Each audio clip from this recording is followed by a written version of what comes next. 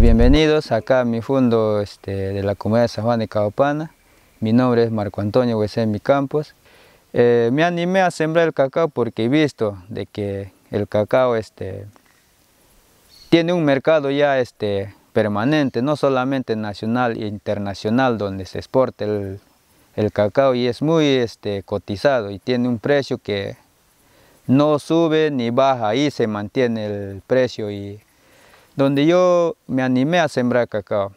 Cuando me dijeron que el cacao es una buena alternativa, yo desde que comencé a trabajar y a decidir y a decir que voy a sembrar cacao y ahorita sigo adelante. Yo sembraba es lo, eh, antes el producto este, ilícito y como bien se sabe que no lleva un buen camino. Claro, te da dinero, pero tiene sus consecuencias.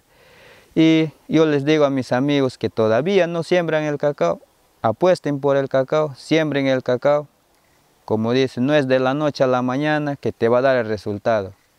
Hay que esperar y de acuerdo a cómo tú le mantienes, a cómo tú le abones, a cómo tú le trates a tu planta, de igual manera te va, te va a responder. Como ya ven acá está instalado mi, parcela, está alineado para el, para el plátano. Y el plátano está sembrado, el frijol de palo, está alineado también para ya sembrar el cacao, está en una óptima condición como usted mismo lo ve.